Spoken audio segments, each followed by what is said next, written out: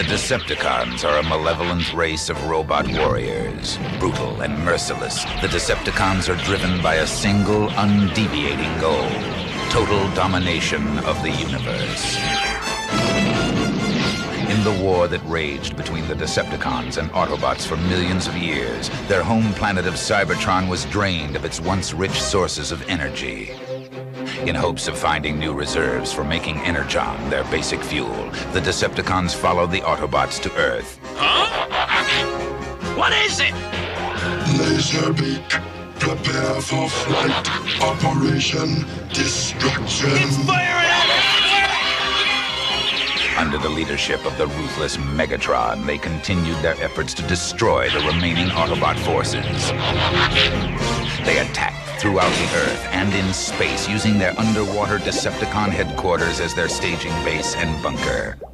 But by the year 2000, the Decepticons had proven to be the losers of the last Great War.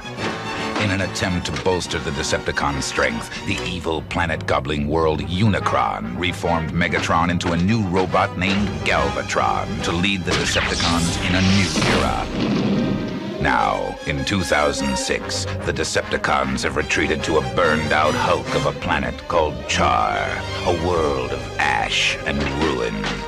Galvatron and his Decepticon lieutenants, the sleek and awesome Cyclonus, and the mighty Scourge, the master of the dreaded sweeps, strike fear throughout the universe. Their ultimate goal, to reconquer Cybertron and destroy the Autobots.